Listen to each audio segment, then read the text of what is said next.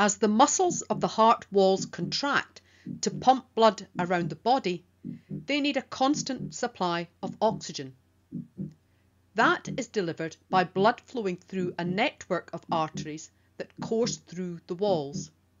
These are the coronary arteries.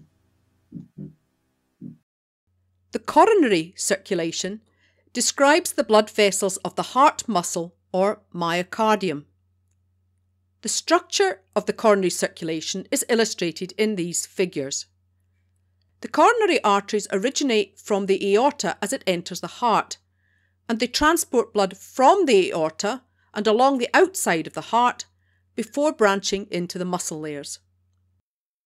The arteries running deep within the myocardium are referred to as subendocardial. From the arteries, Blood flows through capillaries, then venules. But as the venules are within the heart tissues, they drain directly into the chambers of the heart. The capillary network in cardiac muscle is particularly dense, reflecting the high oxygen demand of the muscle cells. The consequence is that all the muscle cells are within a distance of about one red blood cell from the nearest capillary. This maximises the delivery of oxygen to the muscle and the removal of metabolic waste. A particular feature of the coronary circulation is that when cardiac muscle contracts during systole, the arteries running through the ventricles become squashed, making it difficult for blood to flow through them the vessels can become squashed to such an extent that they are completely obliterated. This figure shows how blood flow varies during the cardiac cycle, starting in the middle of diastole when the muscle is relaxed. Blood flow in the left and right coronary arteries is plotted in the two panels at the bottom, with concurrent pressure changes in the aorta shown at the top.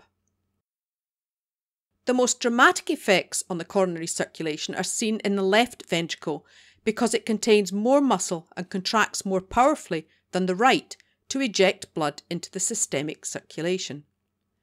This can be seen in the middle trace.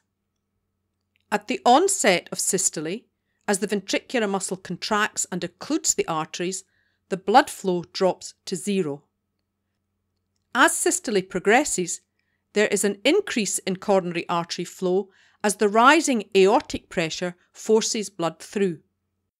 But as systole ends and the ventricle relaxes, there is a dramatic rise in blood flow as the vessels open to reinstate the flow of blood in the coronary circulation. The consequence is that most of the blood flow to cardiac muscle takes place during diastole.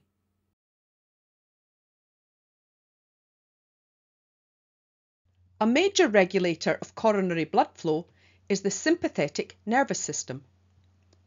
When stimulated, such as when you exercise, the sympathetic nervous system has the overall effect of increasing coronary blood flow to support the increased work done by the heart. However, it has differential effects on coronary arteries of different size. The mechanistic basis of this is the nature of the adrenergic receptors present in the smooth muscle cells.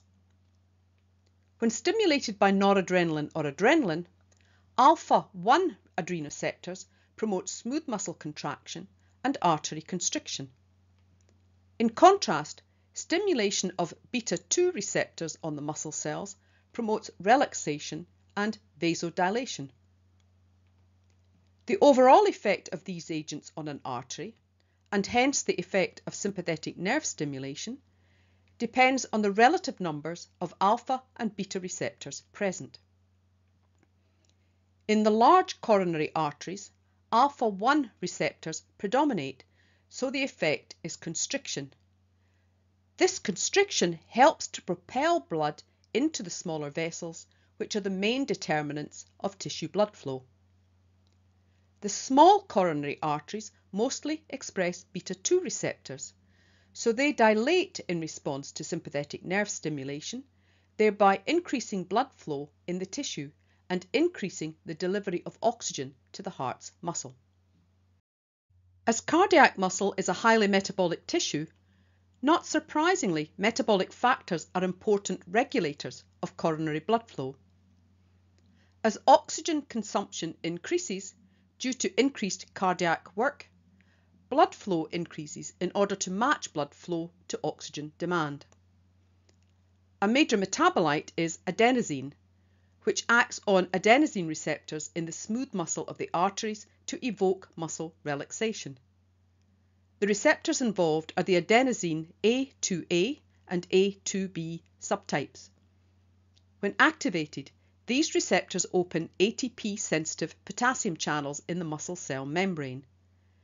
This causes membrane hyperpolarization, which in turn closes the voltage gated calcium channels, thereby limiting calcium entry into the muscle cells and causing relaxation.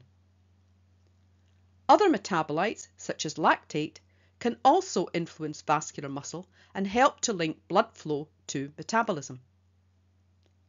In addition to these mechanisms, healthy coronary arteries are also capable of autoregulation, a mechanism by which the artery constricts in response to an increase in blood pressure. Autoregulation keeps coronary blood flow at levels appropriate to the needs of the heart muscle across a wide range of blood pressures.